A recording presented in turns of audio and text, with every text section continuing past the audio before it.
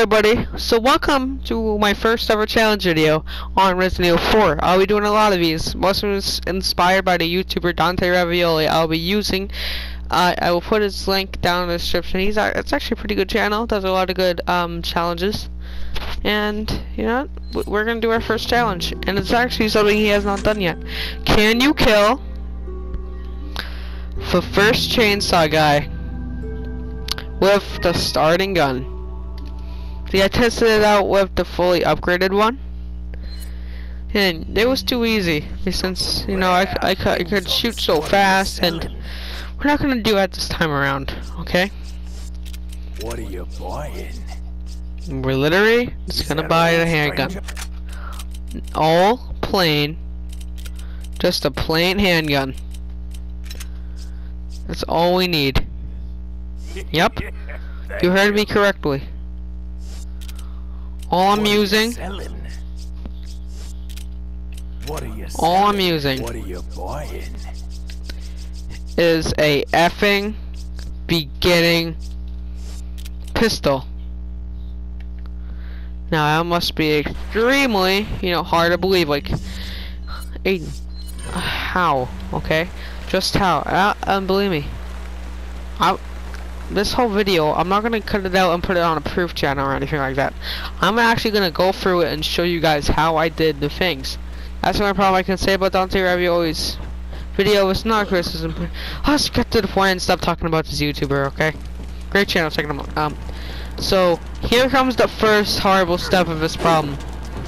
Saving ammo. See, as you can see, I'm not such a knife legend. Okay, never mind. I I guess I am pretty good at knifing.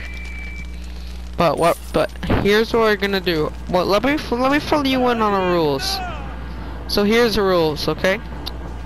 I I can I can use glitches since they are either added into the game or everybody can do them. Second rule, no cheats. I cannot hack, I cannot use infinite weapons on this challenge and and rule free. I cannot I, I cannot do I I can ah actually I can't figure out rule free. I can't fine I can say I cannot swear because I'm probably gonna swear like, at least once. So are you sure that on the rules? Good. Now let's get now let's get started on the real video yeah, don't worry, I did help the doggy since I'm not a horrible person. You know, it's completely useless to me. Pathetic. But we, we're still gonna go go on with our merry day. Hmm. Oh yeah, time for the Nike strat. See how to do the Nike strat. You aim aim your striker right before right before the laser pops up. You equip something other than it, and Leon can go 1.5 more times more faster.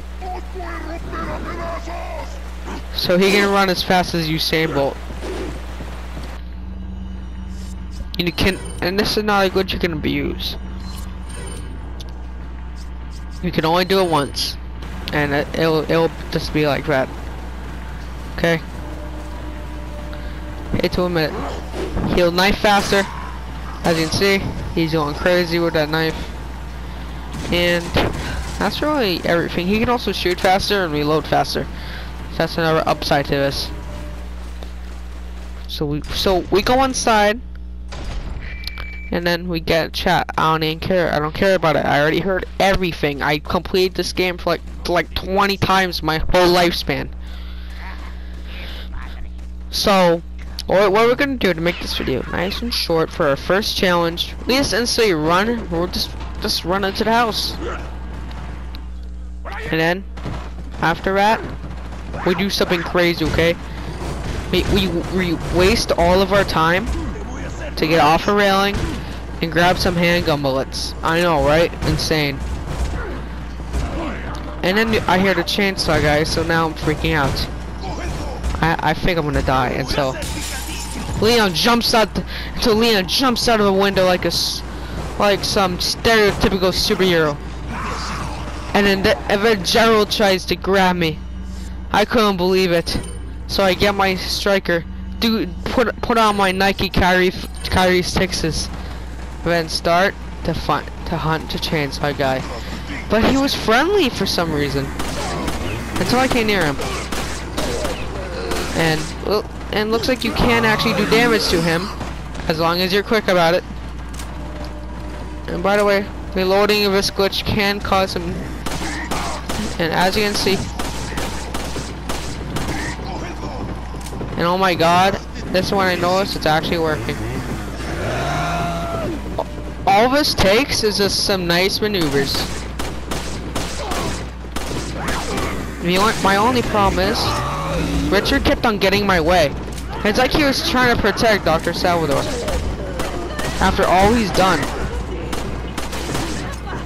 And then I noticed a big issue. I just ran out of ammo. And I have to kill him before the time runs out. So I run, scrambling for ammo. But listen, I can't kill, I have to kill him with the handgun.